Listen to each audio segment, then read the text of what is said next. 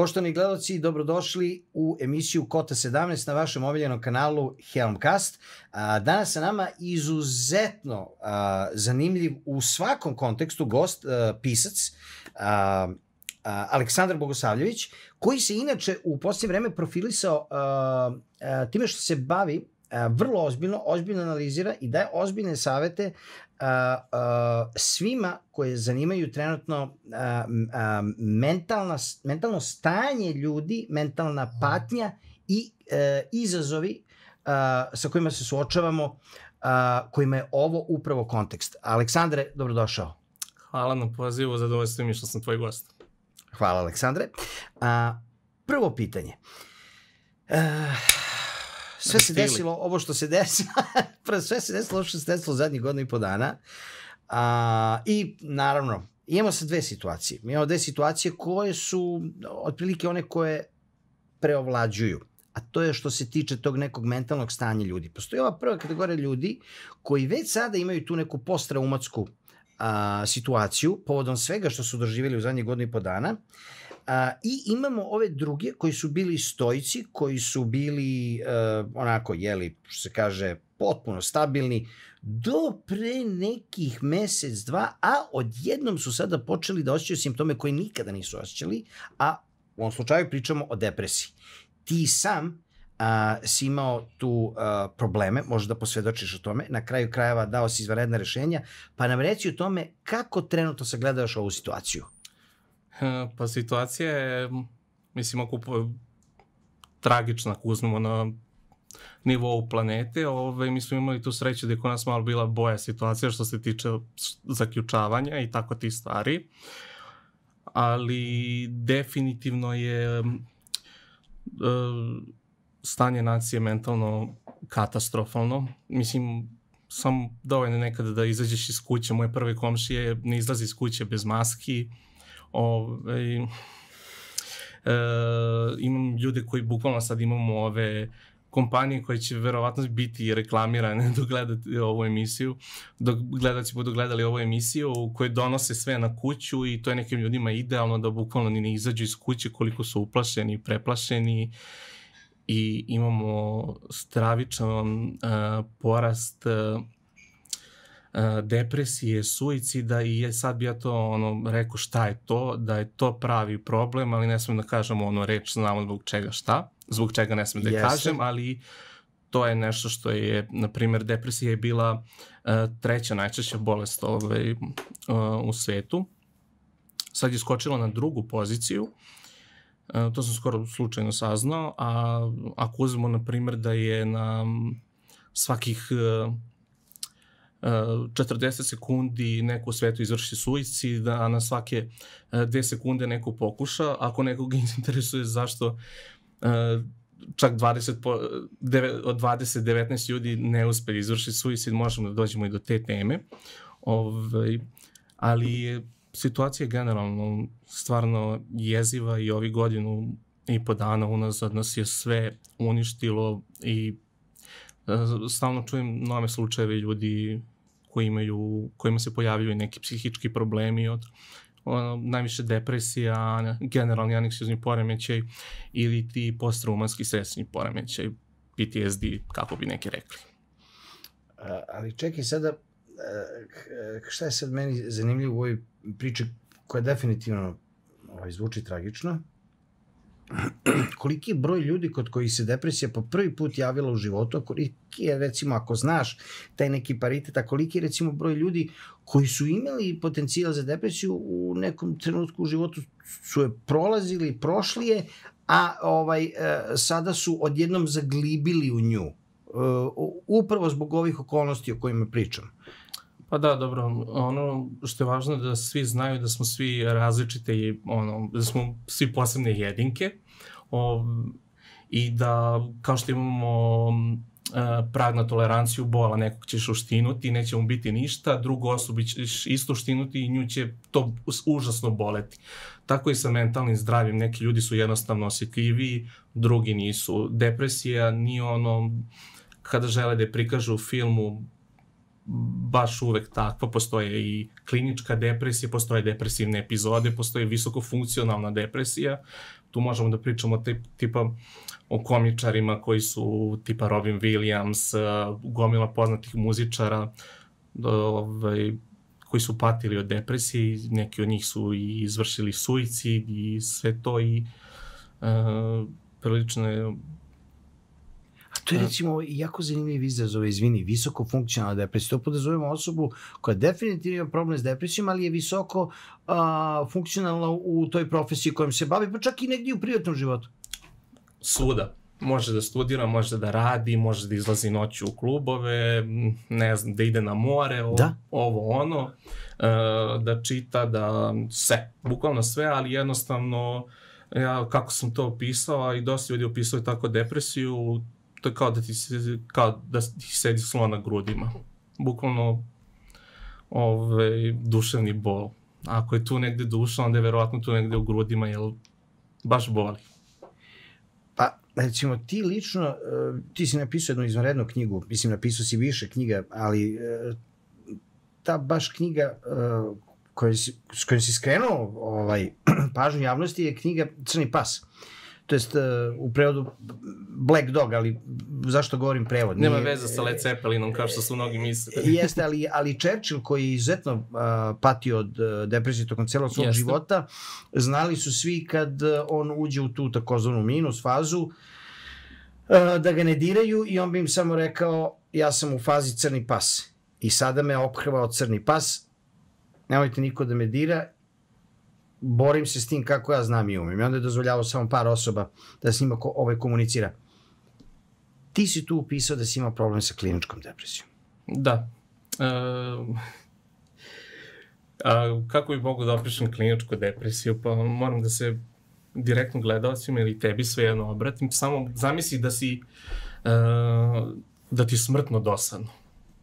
I samo to pomnožiš sa 100 ili sa 1000 puta i to je toliko grozan osjećaj, mislim, meni nije sramota da pričam, mislim, sve to je jedna, nažalost, tabu tema, ne samo kod nas, nego i u celom svetu i tim navodno liberaškim zemljama, tipa Kanada i Švedska i tamo je to, uh, postoji stigma vezana u vezi toga. I klinička depresija vas bukvalno ukopa, ono, mislim, imam tu taj problem da, mislim da li to problem ili prednost u životu da iz negativnih stvari izvučem nešto pozitivno. Kad sam bio u kliničkoj depresiji smršao sam 30 kg. I, ovaj, na primjer, imao sam erektilnu disfunkciju, što normalno ide sa tim. Ovaj, ali dobro, dok kucam u drvo, čim sam se vratio na staro i to se vratilo na staro, dobro, ali da nećemo tome. Da, hvala ti na iskrenosti. Kod mene obično emisiji, gosti sami znaju pre emisije, ja kažem, kažite sve e, što hoćete da kažete, samo budite iskreni. Znači, samo nemojte da lažete gledalce, a šta god da kažete u redu. Ba, mislim, to je neka moja filozofija da ljudi treba da dele svoje iskustva, najbolje učimo na svoje kože, ali stvarno nije na odmet da naučimo nešto od nekih drugih za, baš kada sam bio u kliničkoj depresiji, uspeo, mo, mogo sam da čitam, između ostalog pročitao sam knjigu od Viktora Frankla koju bi svima proučio, verovatno je dosta ljudi čulo za, nji, za nju, a, zašto se niste ubili, on je bio psiholog iz Beča i bio je si čuo možda? Nisam, ali mi, mi je za, za, ovaj, naziv jako intrigantan. On je bio psiholog i liči kao nešto jednu self-help knjigu, ono knjiga samopomoći i to, ali je potpuno druga priča, on je vrhunski uh, psiholog bio o, i bio, bio je u logoru za vreme drugog svetskog rata i možete da zamislite kako izgleda dobro kada uh, iz kada vam kada priču priča Logoraš koji je inače psiholog i kako je pričao tim ljudima koji su ovaj, samo čekali i nadali se da će doći taj neki dan kada će na kraju biti slobodni, nažalost neki većina nije, ali neki su izgurali do kraja, izdržali su sve moguće najgore na sve najgore moguće stvari na svetu, a na kraju su pobedili. A, a recimo, šta te u toj knjizi onako najviše inspirisalo u toj e, tvojoj borbi? Šta si ti kroz tu knjigu naučio recimo i ajde možda primenio da ti pomogne u borbi sa kliničkom depresijom? Uh, malo je neobično, ali knjiga se deli na dva dela, a drugi deo počinje citatom Njive Andrića. Oko toliko stvari smo brinuli, a nismo trebali. Sad ne znam kako ide tačno uh, citat, ali nešto u tom fazonu. Znači, preterano razmišljanje, generalno ljudi vole da kažu da ljudi koji su inteligentni da su skloni depresiji, ima istine tome, ima, ima dosta istine u tome, ali nije tu uvek samo preduslov, postoji mnogo spojeni faktori, porodica, posao, možemo da pričamo, mislim, i o tome zašto je danas u 21. veku imamo toliki problem sa depresijom, a nismo imali, na primjer, u 20. godinama prošlog veka. Uh, gledao sam jedan interesantan klip, uh, holandska neka redakcija je još 20. godina snimala sela u Srbiji i uh, ljudi su na selu, moja keva je prokomentarisala da uh, malo izgledalo tužno ili siromašno, gotovo da su svi bosi. Ja sam im rekao, pa ti, ne znam, ali meni deluju srećno. Oni nisu brinuli da li će Nole da pređe Federera i Nadala, da, da se stresiraju oko finala, da li će Messi da pređe u Barcelonu i neki hiljadu i gomile stvari, nije bilo društvenih mreža, nije bilo nije bilo ovih odvratnih uh, mainstream mediji, znači samo gledam alternativne jer ono je zlo i ne žele uopšte da vam kažu istinu. Uh, veliki sam borac protiv njih i specijalan pozdrav za njihovom prilikom, ali neću psovati. Uh, nisam Mila Ulemek. O, I uh, interesantno je, on njima je samo bilo najvažnije da da li će imati dovoljno hrane za zimu i da li će imati drva i to, da li će biti uspešna godina. A danas imati društvene mreže, pa um, svašta nešto može da se desi, može, e, osoba može da pošle svoje dete kod psihologa, moja čerka je sad napravila ili sin društvenu mrežu TikTok, e, tu napadaju ovo ono i dete završi bukvalno kod psihologa zbog društvene mreže. Mislim, dotle smo došli da u stvari taj neki napredak civili, civilizacije moramo malo da povučemo u kočnicu i ono što ljudi dosta pričaju u povratku u prirodu, da to nije neka glupost, nego da kad god imate priliku, moram da poručim i tebi i gledalcima, idite u prirodu i ostavite telefon kući i odmorite se od interneta, od svega. Ali ono što sam htio da kažem što se tiče uh, šta je to sreća uopšte. Moramo, možemo i da se dotaknemo te teme kod mentalnog zdravlja. Uh, ranije, dok sam čitao novine, to je bilo možda još pre 15 godina, mislim, svi smo čitali tada novine, E, često se dešava, sada kada gledamo koje su najsrećnije zemlje na svetu, uvek se spominju Danska, Finska, Norveška i tako te izuzev Švedske, oni imaju problema sa migrant, migrantima i uh, Malmeom koji je evropska predstavnica silovanja, što je jezivo. Uh, A, a Stokholm, evropska predstavnica samoubistava, valjda? A, to nisam siguran, ali... Mislim, znam da je Švedska slučaju... kao zemlja uh, ima najveći procenat samoubistava Da, imaju taj Evropi. problem, generalno nedostatak psihologa, tako da ako neko hoće da upiše psihologiju, da čisto da zna da možete da nađe lako posao ovaj, u Švedskoj, to kad sam davno, pošto sam ja stigu do treće godine psihologije, napustio sam studije, um, uh, da problem je bio, izvini, ne, ne, malo sam zatrutkiru ko Brnaba. Ove, opušten, opušten. Ranije je bila vest, sad da li se promenilo nešto da se kod, za zakazivanje kod psihologa u Švedskoj čeka šest meseci. Što je tragično, čak i kod nas manje. Um, ali, um, ali ono što sam htio da kažem, imamo znači, te zemlje koje su najsrećnija. Interesantno je da Danska je po potrošnji antidepresiva prva u svetu. A obično na svim listama kao proglašena kao najsrećnija, kao najsrećniji narod na svetu. A ranije su postojale liste u novinama, mislim, pite Boga da li su te iste, da li su te liste istinite ili to kvazi novinarstvo, Sva, e, svesti smo da ljudi svašta plasiraju izmišljotine i ostalo. Uh, bilo je da su najsrećnije zemlje Nigerija, Senegal, Benin i prilike te neke uh, zapadno, zapadnoafričke. Sad možda bi neko pita pa kako oni beda ovo ono. Pa upravo ta beda, oni se radi u malim stvarima u životu. Kada dete dobije loptu, nemam pojma za njega, je to ono, sreća neviđena. Vi imate u Finskoj, u, recimo Danskoj situaciji da je standard toliko dobar da vi u svakom trenutku možete da promenite novi auto za kupite od 15-20 hiljada eura i onda vam nije taj, ne osjećate tu neku kao kada skupite, vredno radite na nečemu i konačno dostignete cilj kao konačno sam sebi priuštio auto, konačno sam sebi priuštio stan ili neku, pre svega sitnicu, život čine sitnice, sad malo zvučim kao pozitivna psihologija i to, ali ono što se tiče otrcane fraze nisu otrcane bez razloga. I stvarno život čine male stvari, tako da mislim da je ljudima vrlo važno da znaju da uh, ima nešto trulo u državi Dansku. znači, znači, u suštini, u suštini uh, sreća uopšte nije toliko kompatibilna uh, sa uh, količinom, i ovo se zvuči otrcano, uh,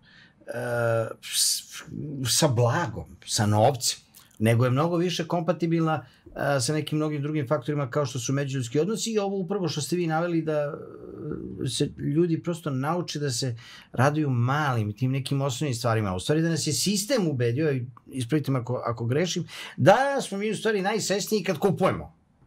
Pa da, definitivno problem je to konzumerističko, sam dobro rekao, društvo i samo, e, nažalost, e, znam da si bio SAD-u, ali problem je amerikanizacija društva našega, koja se više teži konformizmu i konformizmu, to su, konformizam i ne postoji kao reč, ali se uvrstila u naš rečnik od reči komfor, dobro mi je, neću da talasam, dok imam novca, super mi je, uh, uh, uvek mogu da odem u neki brand, neku brendiranu radnju, radnju da kupim brendiranu odeću i to, ali upravo je uh,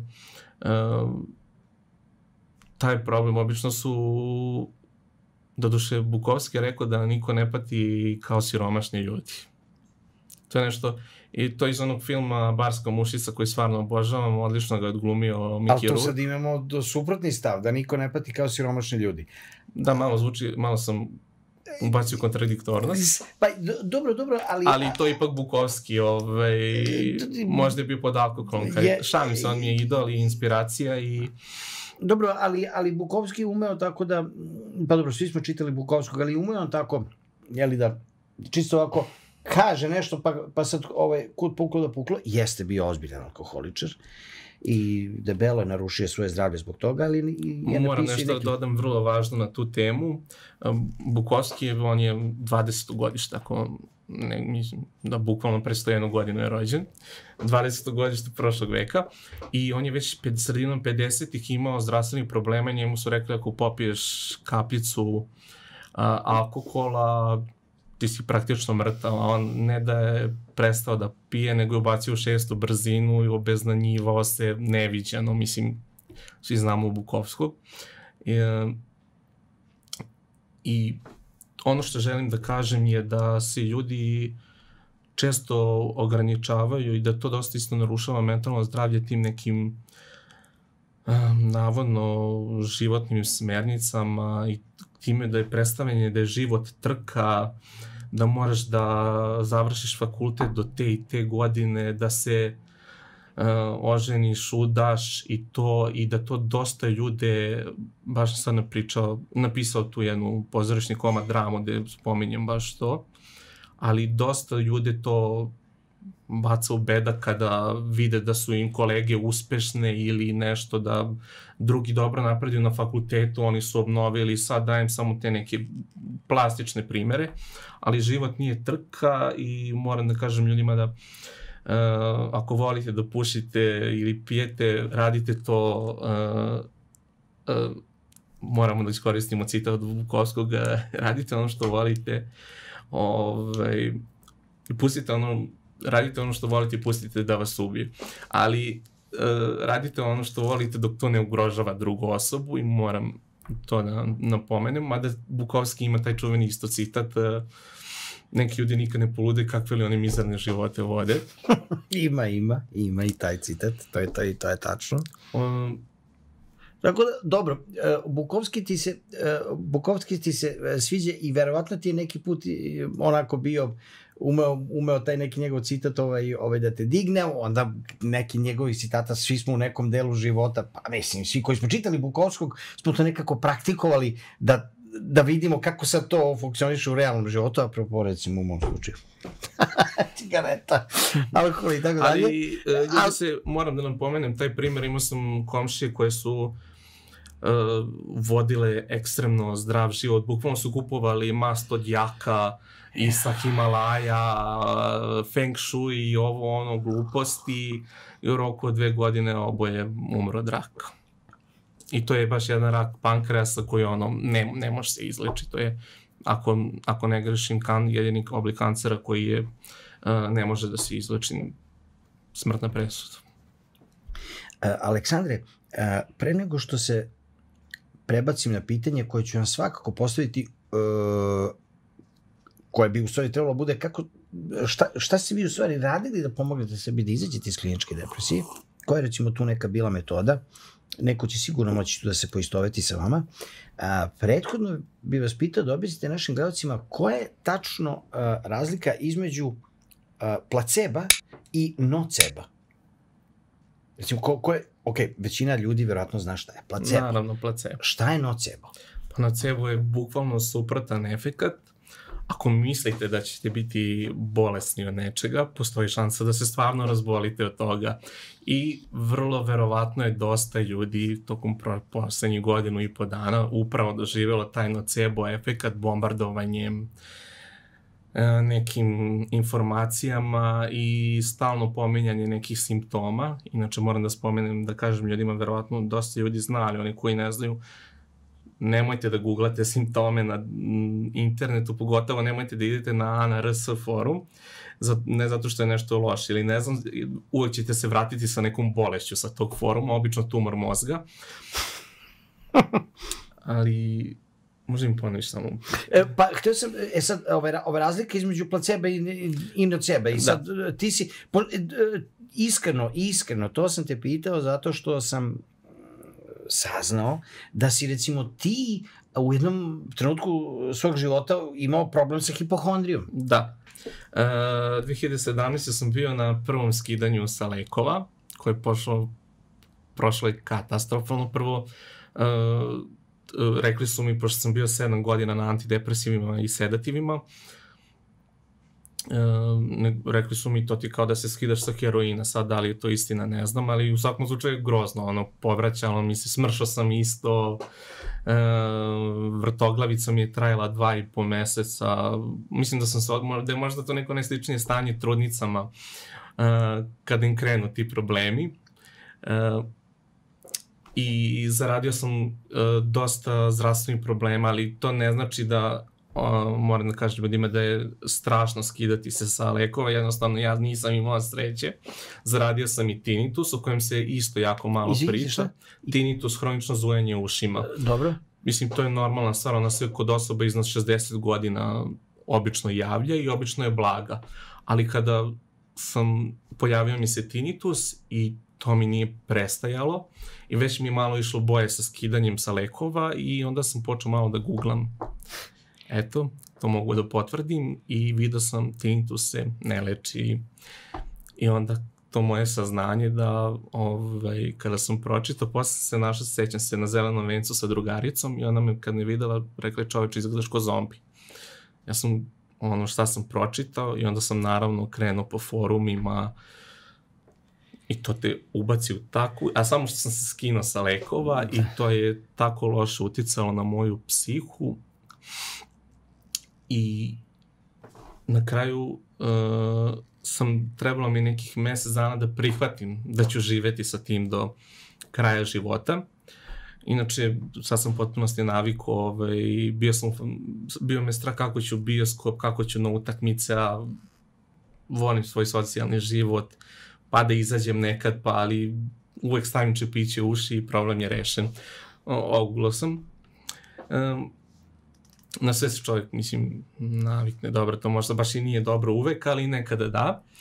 E, I bukvalno kada sam rešio taj problem sa tinnitusom, kad sam počeo da ga prihvatam, zakazao sam e, termin kod doktora opšte prakse, ja sam imao problema sa, malo sam imao učešćalom učestalo mokrenje, zato što sam pio vitamine koji se obično piju za izbacivanje uh, toksina i uh -huh. čišćenje organizma. Detoksikacija neka. Da, prilike to. I uh, sve je bilo u redu i čim je, uh, imao sam zakazan pregled i odustao sam od njega, a, a, imao sam zakazan pregled za tinnitus, da proverim da nije nešto, pošto postoji hiljadu je jedan razlog zašto može da vam se pojavi tinnitus, meni je 99% da je um, upravo skidanje sa lekova. Zamisli. To je, to postoji, da. Ove, či, mislim, čitao sam po forumima. I sad, tu se, I sad tu se postavlja jedno, jedno e, pitanje, u stvari postavljaju se dva pitanja oko ovoga o čemu vi sada pričate, a to je u stvari proces skidanja sa lekova, pogotovo tih nekih lekova koji vam pomažu da budete a, funkcionalni i da, i da imate te neke svoje već oprobane mehanizme odbrane od recimo depresije, depresije, anksiozni poremeći i tako dalje. Se postavlja pitanje zašto se uošte neko skida sa leka? Ako, ako mu taj lek pomaže. Mislim, ja sad pitam, jer meni je logičnije, ako ćeš sad prolaziti kroz agoniju skidanja sa leka, pa ćeš onda ponovo da prolaziš kroz agoniju te neke depresije nakon poremeće, pa da ponovo ideš da uzimaš lekove, pa dok ti lekovi ne uzmu ovaj, ovaj svog efekta, uzmeš lepo kao insulin, piješ celog života te neke bolje lekovi, izvini, ako, ako rešim ti možeš da antidepresive, pogotovo čak može da pije celog života. Može, naravno. Ovaj, ali... Nije kao ksalol, pa ono otupiš, pa posle moraš sa 0,1 na 0,2, pa na 0,5. Pa... Da, ja sam ono između ostalog i bukvalno zavisnik od uh, lekova, pošto sam se ponovo vratio i drugi put sam pokušao da se skinu, prvi put sam se skinuo, ali bilo ne, neuspešno. Ali ovo što si sada pitao, što se tiče lekova, uh, generalno uh, jedan antidepresiv bi trebalo da se pije oko godinu dana. To je neko, ono što sam ja pričao sa psihijatrima. A i zašto se gleda da se neko skine sa uh, sedativa i antidepresiva? Zato što postoji velika šansa da se pojave neke nus pojave tipa ili da dođe do novih oboljenja tipa Alzheimerove bolesti. Kažu da ako pijete te lekove da, mislim, sad zvučim kao ANRS forum, ali Dobro. ovaj, postoje šanse za, za 50% da se pojavi Alzheimerova bolest. Ukoliko se, recimo, uh, ovaj, antidepresivi konzumiraju stalno. Da. Mislim, to obično, što se tiče jetre, to, lekovi, to nisu jaki lekovi, tako da oni to ne možem koliko znam da se stvori problem, ono što ja znam. Ali možeš i da ne dobiješ Alzheimerov Mislim sad... Može, ovde... pa to je a struka, pa malo smo godinu i po dana, posljednjih godinu i po dana videli koja i šta je struka.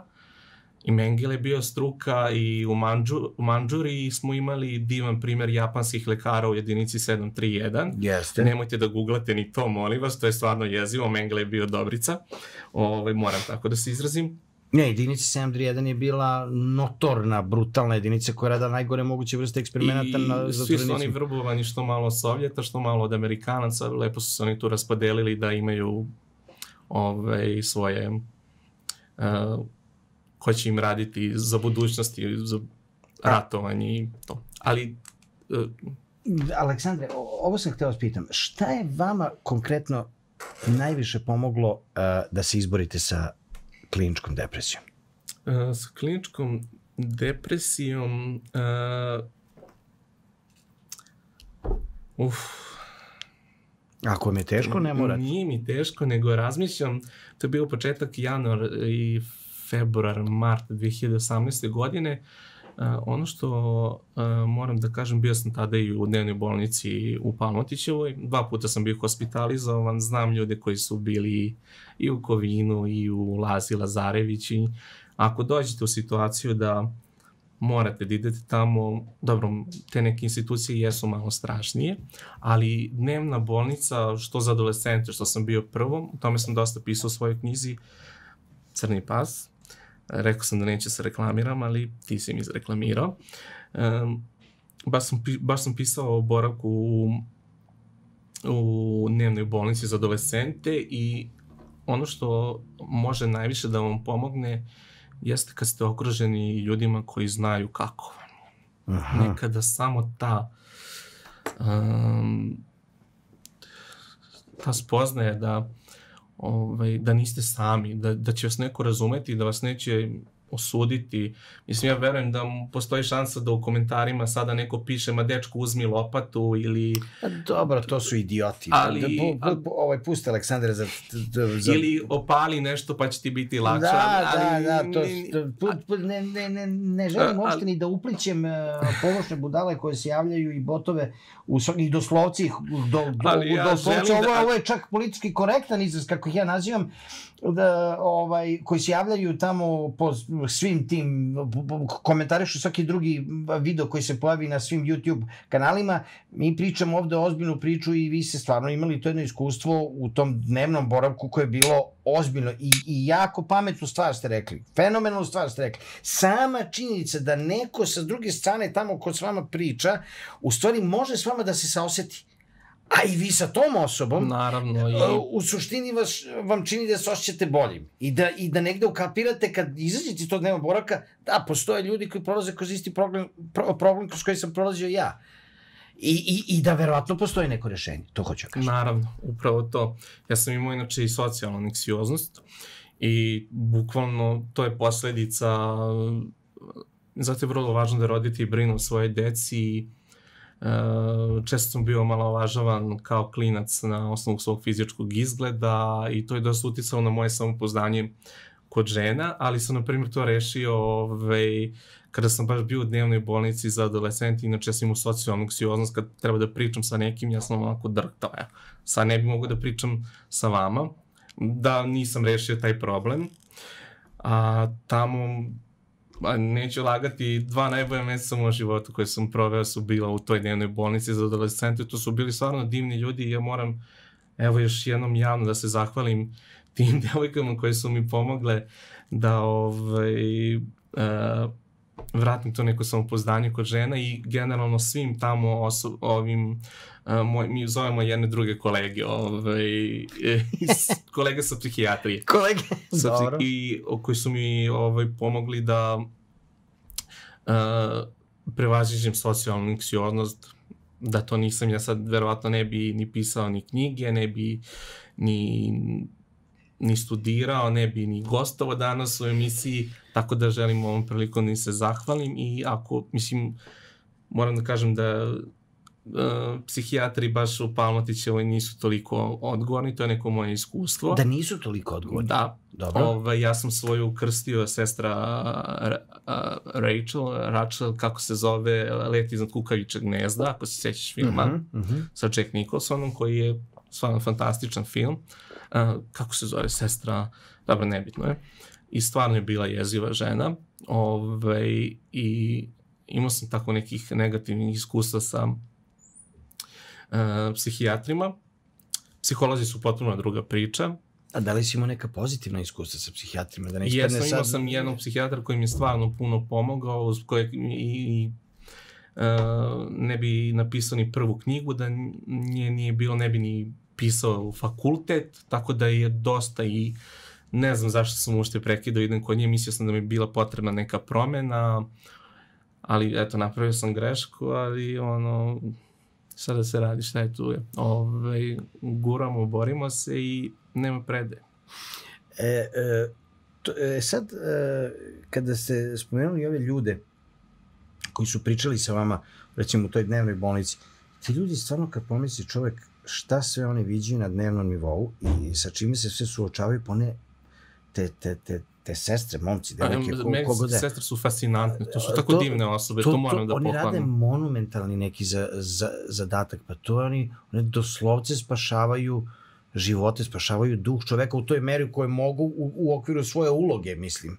To, Naravno, to, naravno, to ali slika. često mi smo imali uh, prilično nekad, grupna terapija obično ima koliko, 5-6 ljudi, a mi smo imali, na primjer, kad sam bio drugi put u dnevnoj bolnici za odrasle, ovaj, na grupnoj terapiji smo bili svi i to nije moglo da funkcioniše. Uh, I dešavalo se nekada da medicinska sestra koja nije obučena da vrši grupnu terapiju, vrši. I čak radi bolji posao psihijatra, moram da priznam. Imali smo, uh, stvarno su bile nekad i komične situacije, ali kad čujete te priče ljudi koji su završili tamo, eto, na primjer, bila je jedna divna gospođa koja me strašno gotivila, da se izrazim u slengu malo, ovaj, zvala me Siniša koliko sam je bio drag kao sin. O, ona je, na primjer, tamo završila zato što je njena čerka postala narkomanka. I ona mi je pokazala njenu sliku od pre dve godine, svoju sliku je pokazala i to je bila potpuno drugačija žena u odnosu na nju, koju, ja koji sam video nju u toj dnevnoj bolnici. Eto koliko, mislim, kažem, za neke i to teorija zavere, bukvalno mentalno zdravlje i ta stigma i sve to, a najosnovnija podela zdravlja je na fizičko i psihičko. Fizičko jako lako utiče na psihičko i psihičko ja, uh, jako da, da. na fizičko, jer možete, ako ste, uh, na primjer, ako se, neko, ako se sećaš filma se, čekaj mi je sigurno neće doći od Momčilovića, to je dobro prikazano kroz scenu Miloša Samolova, um, njegova depresija, pa na kraju pokuša da izvrši suicid, ovaj, mokri u krevetu, samo pije lekove, jezivo koliko je dobro prikazano i svaka čas Samolovu kako je odglumio. Jel ima neki srećan završetak filma? Da, baš ima srećan, hvala Bogu. E pa dobro. Dobro, ovaj, meni za ovim dramu sa što sam je izdao besplatno online, o, bio on, on mi je ipak uh, kao dramaturg uh, jedan od najvećih inspiracija. A, Aleksandre, uh, hoću da spitam, vi svakako imate malo, izvini, samo malo moram da se izvinim što skrećem sa teme na temu i malo mi je neprijatno. Ali... Ma nema veze, ma opušteno mi je skroz, Aleksandre, op, opušteno skroz. Ih, koliko ja boljki imam, kad bi se sad ovaj, to sve brojalo. E, nego hoću ovo da vas pitam, imate definitivno e, pozitivno iskustva iz te borbe e, sa vašim psihičkim problema koje ste imali, pričali smo malo i preko telefona, a pričali smo i malo više privatno a, pre nego što smo započeli intervju, vi ste definitivno, rekli ste mi to doslovce vuče, ja sada umem da se nosim sa time i naučio sam da živim sa time i suštinski sam funkcionalan. E, pa to je velika pobjeda. Hvala ti. Ove, ali, ali, ali, uvek ali, može ali, bolje. Pa znam, pa znam, dobro, sad ne, to ne bi trebalo da vas opterećuje, jer i, i, Pa ima, svako od nas ima prijatelj, svako od nas prolazi kroz neke teške faze u životu, svako od nas imao neki, ajde da nazovemo to neki period tog crnog psa, e, svako od nas je bio nekim periodima tuge, sad, e, neko, nekog se manifestovalo ovako ili onako, ali znajući neke ljudi, prijatelje svoje koji su prolazili kroz slična stanja, kao kao vi, pa oni bi sve dali da, on, mislim, u tom trenutku, kada su oni bi, kada im je stvarno bilo teško, sve bi dali da samo budu u poziciji, da mogu da budu funkcionalni, da idu na posao, da ima, imaju bilo kakvu radost prema nekoj sitnici, pre, prema životu, ali sitnu, sitnu, sve bi dali za, za to. Ti si ipak tu malo i prešao neki stepenik. Aj, pa, ja sam, na primjer, počeo da pišem od muki. Papir sve trpi, kao što kažu, i bukvalno se sećam to je bilo 2015. Toliko sam ono, narokao sam se rivotrilom e, i bukvalno sam šetao po stanu kao ono leopard u zoološkom vrtu u kavezu, nisam znao šta ću više od sebe i samo sam seo za papir, za komp, kompjuter i počeo da kucam. I onda sam rekao, čekaj Aleksandar, pa što ti ovo ne bi podelio malo, znaš, tu priču sa, mislim, knjiga je dobila stvarno pozitivne kritike, uh, ali je realno smeće. Uh, Tvoja knjiga? Da. Ovaj, to je moje mišljenje, ali ovaj, ono što je najvažnije je da je pomogla drugima. Ja sam rekao sebi, Aleksandra, ako tvoja knjiga bude pomogla jednoj osobi, ti si izvršio svoju misiju uspešno, a na kraju pomogla velikom brojem ljudi. Evo sad mi se baš javila jedna drugarica uh, sa letovanja koja imala baš će se pojavili problemi prošle godine i rekla je zašto me niko nije upozorio da ću plakati na plaži ovaj, dok je čitala moju knjigu. Dakle, jedan advokat iz Londona ti je ispričao jednu potpuno nevjerovatnu priču, da, a, a posle, posle čitanja tvoje knjige.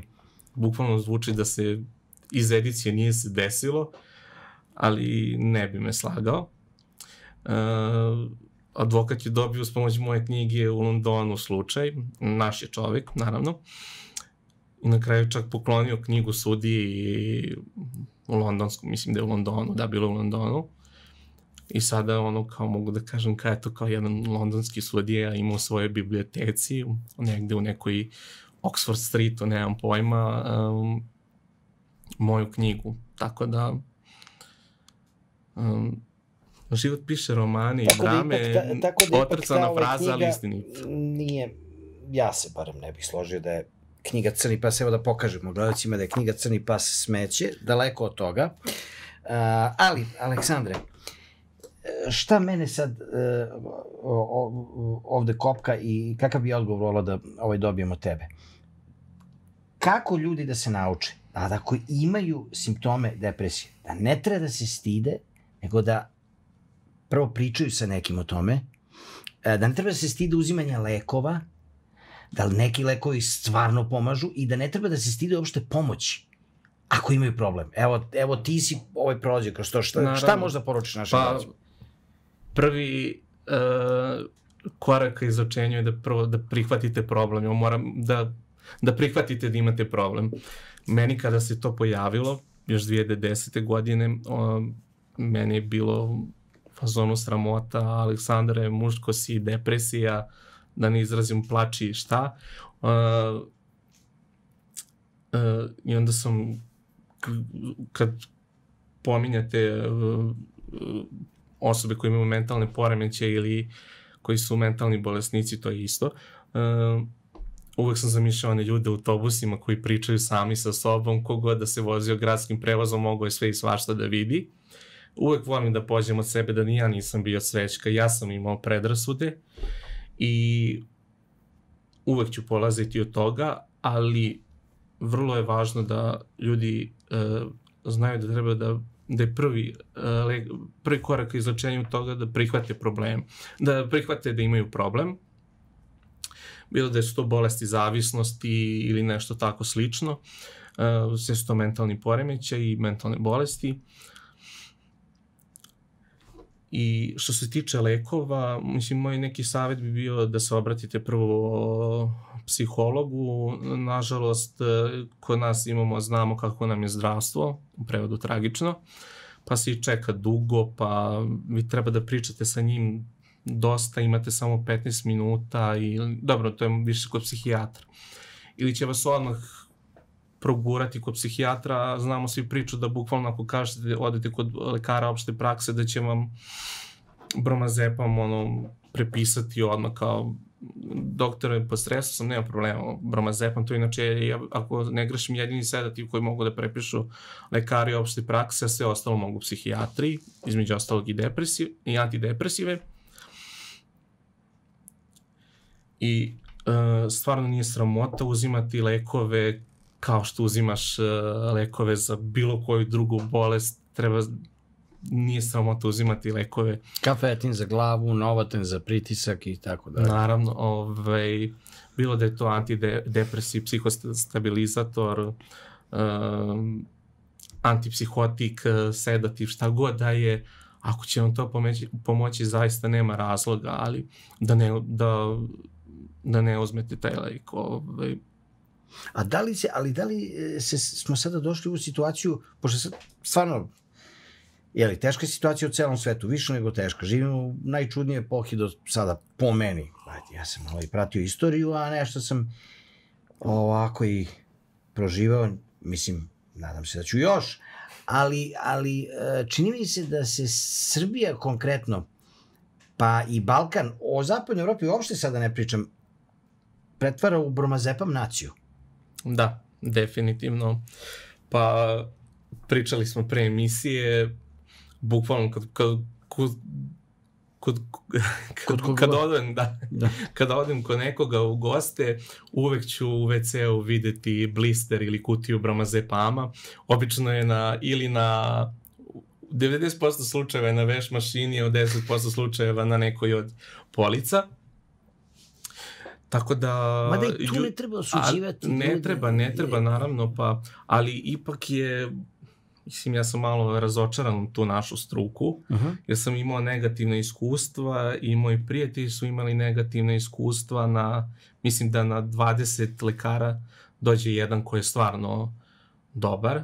Ja moram da spomenem, taj slučaj moje sestri je 99. je puklo slepo crevo, trebalo im je nedelju dana da provale da je puklo slepo crevo. Eto, to je ta struka.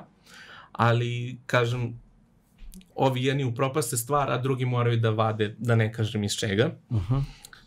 I molim pod pitanje, malo sam zabagovao. Nis, ma nisi, ne, ne, ovaj, ja, sam, ja sam se sad ovaj, zamislio zato što sada Teške su teme. Ovo, ovo što ste vi rekli u vezi bromazepama, meni se dešava recimo da primećujem sa ksalolom kod prijatelja koji to počinju da uzimaju na nivou PS bombona u, u, u toku dana. Da. I recimo imaju stres i sad on preventivno već uzme i to pričamo o, ako se, ne znam, gledoci znaju uopšte šta je Xalol, to je vrlo slično kao Xanax, ali kaže da postoji razlika. Uh, pa Xalol to... je popularniji kod nas, a Xanax je u Americi, ali to je u stvari isti lek. Isti Kao lek. što je Prozac, ja mislim, srpski zolov.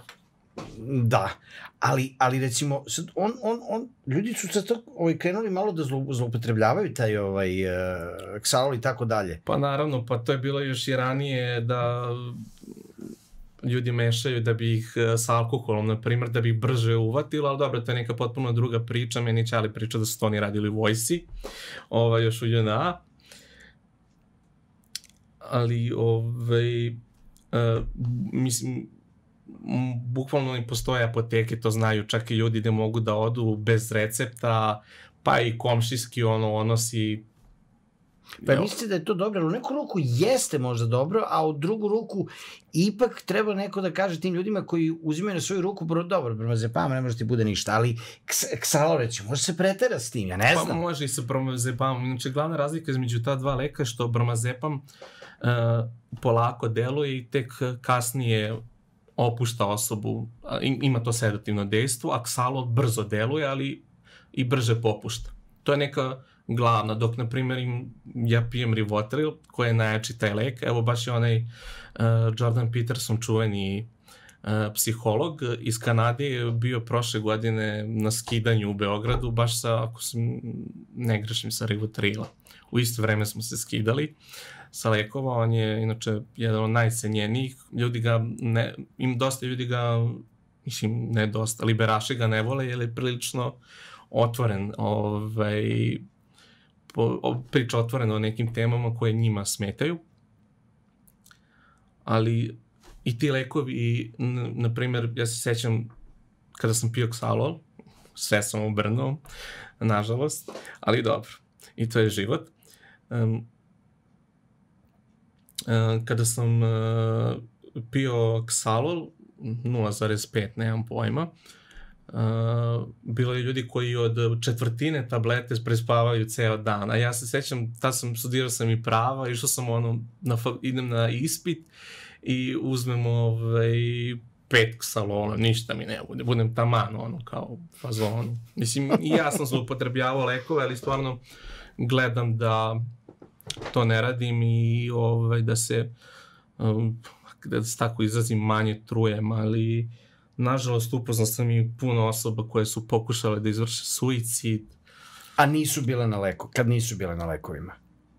Uh, ne, pa upravo se gomila ljudi će mislim sad ne bi da dajem ljudima ideju kako mogu da izvrše suicid, ali na primjer ja mislim da se sećam da je Amy Winehouse je menjala, mešala uh, uh, sedative ovaj, sa pićem on, on, na dnevnoj bazi, pošto je imala poremeć, generalni poremeć aneksioznosti, ako ne grešim i to je koštalo života. A, Nečeg najvrednije. Sad, Aleksandre, e, kada ste rekli uh, da su liberaši recimo zamerali ovom američkom doktoru koji su u Beogradu uh, skidao, kanadski pogrešio sam sam. Kanadski koji se skidao sa rivotrila, upravo ta neka liberaška a, a naracija je konstantno bila uh, je, je konstantno u stvari bio koncept te pozitivne psihologije. Da. Pozitivna da. psihologija stavi ružičaste naočare na oči i e, svet će biti lepši. A u stvari smo pre emisije vi ja pričali, vi ste doslovce rekli da je pozitivna psihologija vrlo detrimentalna koncept uh, za one ljudi kojima stvarno treba psihička pomoć. Pa da, na master studijama psihologije postoji bukvalno predmet koji se zove zloupotreba pozitivne psihologije uh, zloupotreba pozitivne psihologije, ne znam baš tačno, ali dovoljno sam rekao. I to su oni ljudi koji su u fazonu, jaj, sve je lepo, ovo, ono, život je lepa, moram da kažem ljudima da je sasvim u redu da imate loš dan, da je okej okay da niste okej okay, i da je pad led i da možete da panete, podići ćete se, nikada ne treba odustajati, ali nekada, evo, na primer, moram da te pitam lično, da li ti ja sad delujem da sam neki čovjek koji pati od depresije? Ovako kad me gledaš sad dok pričam. Ne, bez pa, danjeg ne. Eto. Ali, ovaj, očigledno da dosta patim. Uh, na primjer, imamo primer, znali smo Robina Williamsa ili Uh, Jim Carrey ima neke... Da, isto. Pa, uh, to je obično postoji šala kao ni, ne osjećam se psihički dobro, ali sam barem duhovit. O... A da, ali i to, i to je malo poprimilo mit da su svi komičari depresivci. Da, nisu, ali ih ima nisu, dosta. Nisu, ovaj... Uh, ti si jedan komičar, a nisi depresivan. Dobro, ali imam ja druge mane. Koje, Dobre, na, koje, najbolje nije... zna, koje najbolje zna moja supruga, moj kolega Igor Mariković koji vodi Infomuk, e, režija, kolege, ovi ostali. Ovi. Dobro, nisam ni toliko loš, aj neću grešim dušu. Uh, niko nije savršen, ne. Ja se vama zahvaljujem, jer humor je jedan, to mislim da je Jung rekao, Carl Gustav Jung, ovaj, da je humor najbolji lek. Ovaj, I tako da gledajte komedije, gledajte Info Muk, isto moram da poručim. Meni je ovako, kada sam se malo razočarao, ne malo previše, u ovu liberašku ekipu sa ovih uh, nove SS i ostalih, uh, da mi Info Muk došao kao melem na ranu. Ali si mi zamerio da sam u, u drugoj epizodi Info Muka uh, previše rakije popio. To je činjenica. Dobro. Evo, evo. Ali, ali da se vratim na temu ovaj, da ovaj, pozitivne psihologije, postoji dosta pa to gotovo da ima kultno, ovaj, kada sam baš bio u kliničkoj depresiji, moja strina, ona ide na reiki i ovaj, njena najboja nam, ona je prvo meni radila te reiki tretmane, mislim, ja mislim da taj reiki možda može da pomogne nekom kao placebo efekt da, mislim, to je kao slanje neke energije, ne dodirujete neko, ne znam da li znaš šta je reiki. Ne. I ne. dobro je. Dobro. I, i, i ovaj, kada sam jedno, otišao sam, ja imam, ja imam kao neki kao prvi stepen reiki, ja mogu da lečim druge ljude, mislim, koji to debilizam.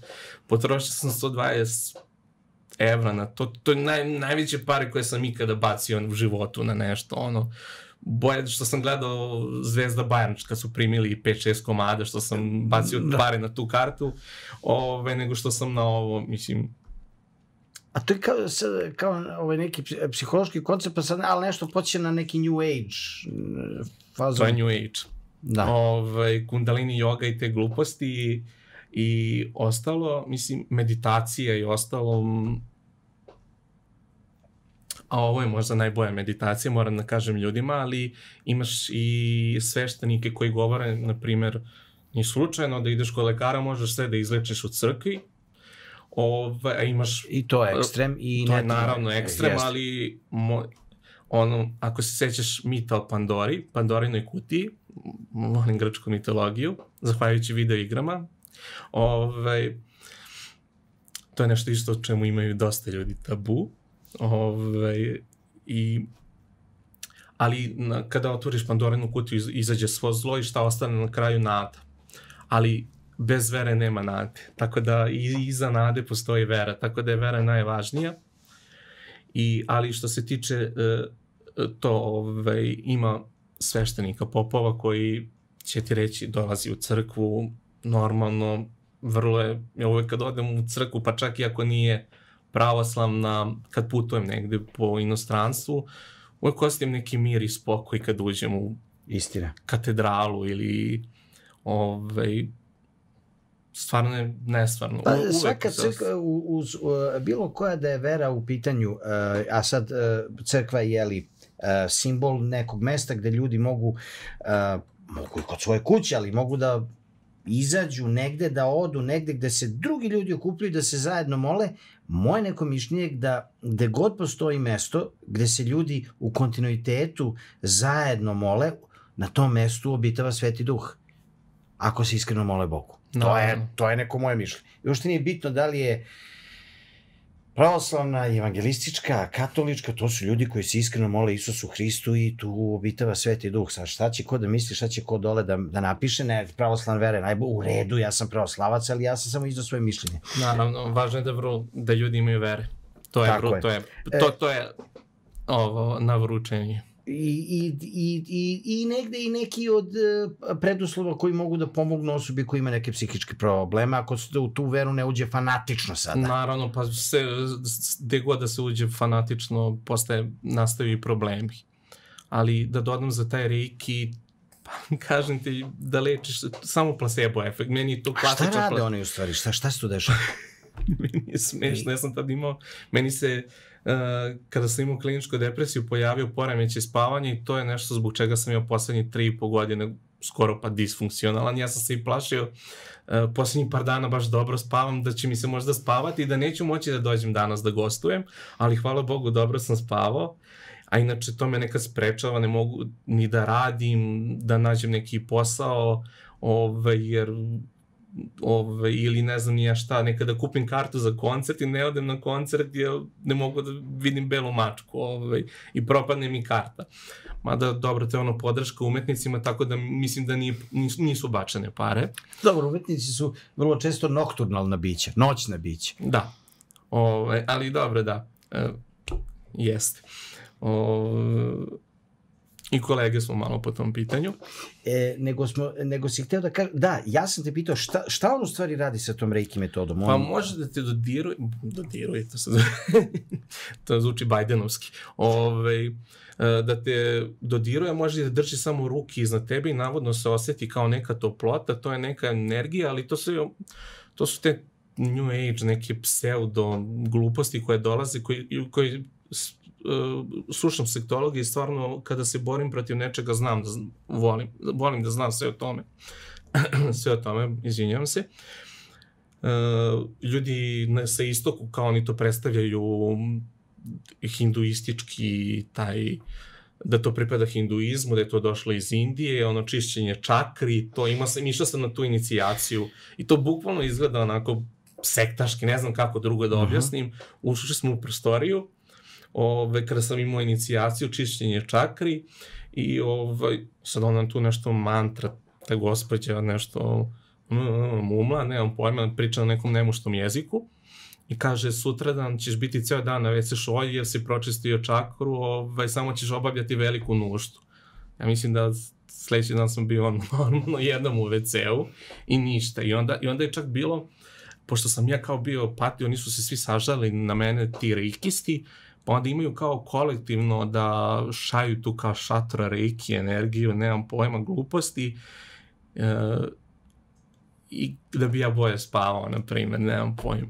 Naravno, i kad su, onda, onda su mi rekli, bio sam, imaju, imaju SOS listu za osobe kojima to rade, kao I čim su mi, onda mi se javila ta glavna, kaže, izvini, kao dugo smo ti pomagali, vidimo da nema leba, bukvalno nije tako rekla, ali čim su oni kao to prestali da radi, ja sam dobro počeo da spavam. Mislim, to je smešno, je slučajnost, naravno, ali Ove, dobro je, dobro ali demistifikovati čisto... i da, i da drugi gledalci koji sad recimo gledaju ovaj intervju ne dođu u zabludu da taj Reiki metod je Naravno. neki ne znam kakav oproban efikasan metod da već je više nešto što je kao placebo efekt što se već objasnilo. Ništa ne može da se izleči preko jednog dana i upozorio bi ljudi da ne padaju na te gluposti i to da sve mora da ide postepeno i polako i najlakše je prevariti očajnog čoveka a depresivni ljudi koji pate neku, mislim svako je njegov problem najveći. I onda kada imaš, veliki, kad imaš neki veliki problem, postaješ pomalo i očajan, mal, ili malo više, i onda si u fazonu da se hvataš za bilo koju slamku i mnogi će to zlupotrebiti. Nažalost, ljudi nisu generalno dobri. Ove... E, i to, i to smo konačno demistifikovali. Ali, ja. Aleksandre, hoću, hoću, hoću da vas pitam uh, za kraj jedno pitanje. Šta biste vi ovako, evo, naravno, pričamo o svemu i svačemu smo pričali ovih sati kucu vremena, ali da li ima neka baš konkretna poruka, ja ću ponovo još jedan put da pokažem našim gledalcima da je ovo knjiga od uh, Aleksandra Bogosavljevića, Crni pas, koja govori, koja se bavi tematikom depresije, gde su opisana i lična iskustva i a, neke metode koje mogu da vam pomognu i neka tuđa iskustva. Uglavnom, a, čak naš vlasnik kanala, Slobodan Šijan, pročitao knjigu, jako mu se svidela. Mislim, I zahvaljam se ovom prilikom, on je i moju poslednju knjigu koju sam objavio online besplatno, malo iz srpskog inata, okačio na vašu Facebook stranicu. Jeste, u ono audio formatu, je tako? Ne, o, ne, o, ne na, um, ja sam je okačio PDF u formatu da može svako da je preuzme besplatno, a inače, A da, poručio bi imate i sjajan kanal uh, audio knjige, Hemcast, i imate tu, preporučio bi gledalcima da imaju to je vrlo sad popularno, pogotovo u SAD-u i na zapadu, su te audio knjige popularne, ništa ne može da zameni papir i to, ali je sasvim okej um, nekada je prije prespavanje da slušate neku kvalitetno štivo. E, Aleksandre, ba, poruka gledalcima našim. Ja, ja znam da su uvek to un, univerzalne poruke, ali i ako je univerzalna, jaka, iskrena, ja sam ubeđen da će nekom pomoći. Uh, pa ako dođe do onoga što kažu da će biti 15. augusta, da ne kažem šta, uh, da ljudi uh, ne padaju u depresiju ili očaj, naravno, mislim, ne možemo mi da se borimo protiv toga ili ćemo upasti ili nećemo, ali to nije slabost, ovaj, vrlo je važno da prihvatite problem i da razbijemo tu stigmu, vrlo je važno i što kažem nekada je najbolji psiholog osoba koja će vas saslušati koja će saslušati vaše probleme, koja će samo čutati i slušati vas. Makar to bio prijatelj nekad.